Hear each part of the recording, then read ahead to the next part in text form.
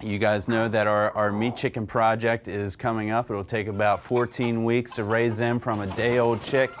I'm in agriculture and I just really enjoy it. Today we're going to build a prototype of a brooder box then we're going to eventually pick one.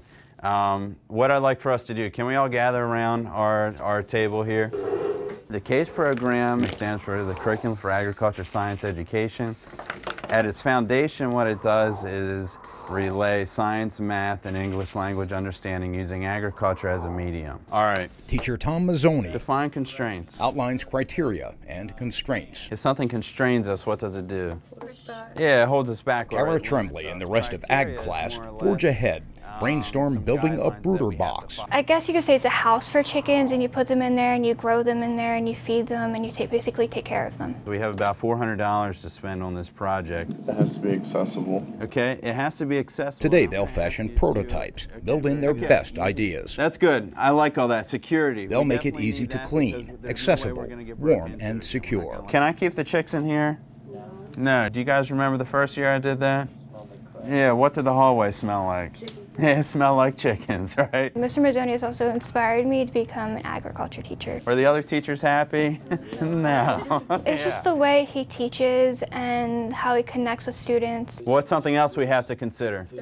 A food source, good. He just makes it fun. So go ahead, break off. I'm, I'm gonna I'm gonna turn it loose on on you guys. Cara is a totally non-traditional ag student. She doesn't come from a farm. She was in my plant science class where.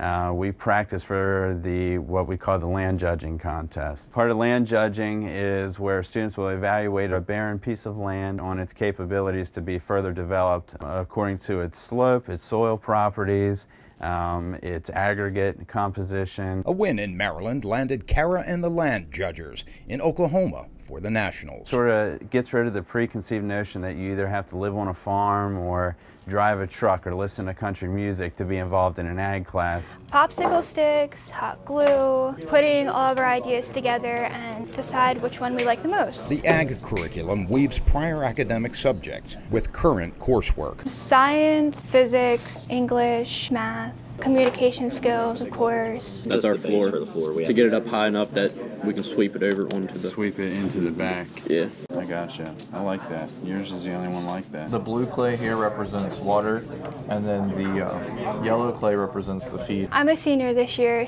I finished my academics first, and so I'm taking this class to get my completer. The CASE curriculum for agriculture science education offers students the opportunity to earn college credits. They learn about all aspects of agriculture science plant, animal, food, and business. I'm actually going to Allegany for two years, and I'm, then I'm going to transfer. Cara's biggest attribute is she's totally a go-getter. She's never afraid to step outside of her comfort zone to try new things. I just really enjoy it.